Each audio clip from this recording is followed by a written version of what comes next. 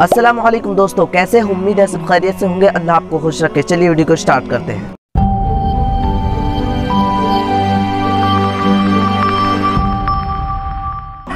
मतलबी जमाना है, नफरतों का कहर है।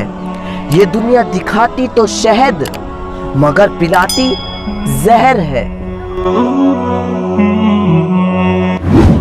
जन्नत कितनी दूर है? आप सल्लल्लाहु अलैहि वसल्लम ने फरमाया जन्नत दो कदम पर है।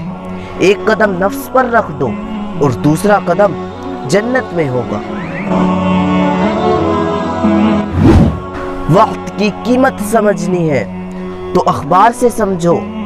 जो सुबह दस रुपए का बिकता है, फिर वही अखबार शाम होते होते दस रुपए किलो बिकता है।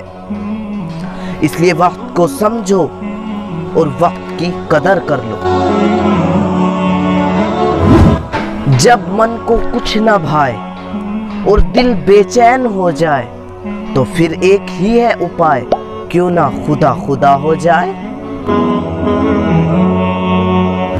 आई होप आपको ये वीडियो पसंद आई होगी। पसंद आए तो लाइक ज़रूर कीजिए। चैनल पर पहली बार तो चैनल को सब्सक्राइब कीजिए। ऑल कीजिए ताकि हर वीडियो की नोटिफिकेशन आपको मिलती रहे, जैसे हम वीडियो अपलोड करते हैं। साइड में आपको टू वीडियोस दिखाई दे रही किसी एक पर क्लिक कीजिए एंजॉय कीजिए। मिलता हूँ आपसे किसी और वीडियो के साथ। तब तक के लिए असलम